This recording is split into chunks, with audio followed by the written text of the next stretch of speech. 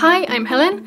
I'm a graduate of Digital Health Master's Curriculum at Taltech. The aim of the curriculum is to train change managers, people who are able to come up with innovative solutions to change the effectiveness of healthcare systems. Digital health studies are very exciting.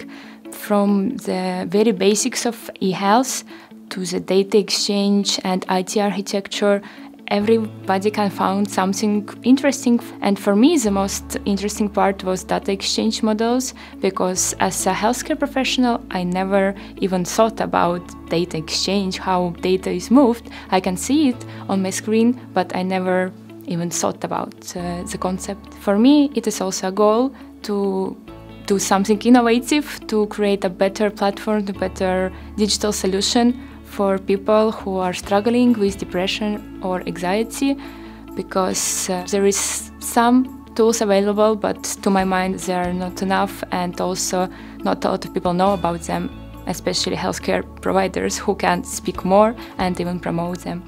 In my opinion people who have the passion towards the healthcare should come to study to the following program and it doesn't matter what kind of background you have because this program provides all the necessary skills that I needed in order to succeed.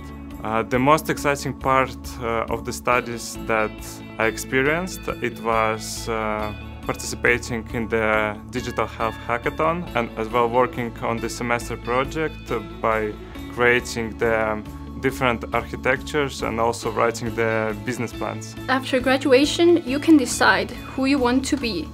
We give you the tools, the knowledge and skills but you can decide whether you want to be a startupper, become a policymaker, or work in a hospital as a change manager. If you feel that you want to be the future innovator in healthcare, come and join the digital health curriculum at Taltech.